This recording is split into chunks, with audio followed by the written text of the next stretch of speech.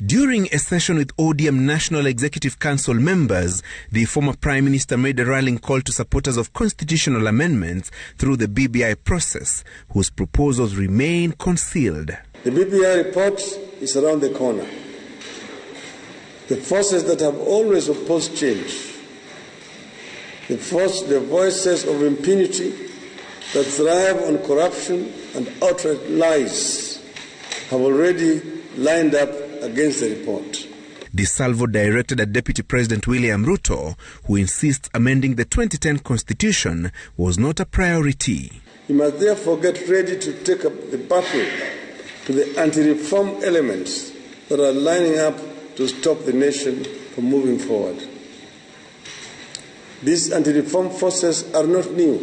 The same ones who opposed the new constitution in 2010 the same ones who opposed the unity of purpose between President Uhuru Kenyatta and myself, and the same ones who are opposing the war on corruption and now. Karibu.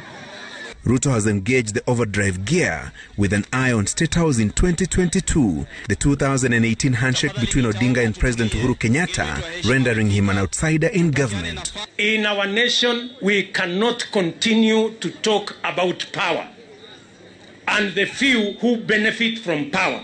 We want to discuss about empowerment because it reaches millions of Kenyans across the nation. Kenyatta and Odinga have, however, insisted the BBI process was not all about expanding the executive, but shared prosperity, strengthening devolution, and resolving long standing national issues that spark ethnic and political divisions every election cycle.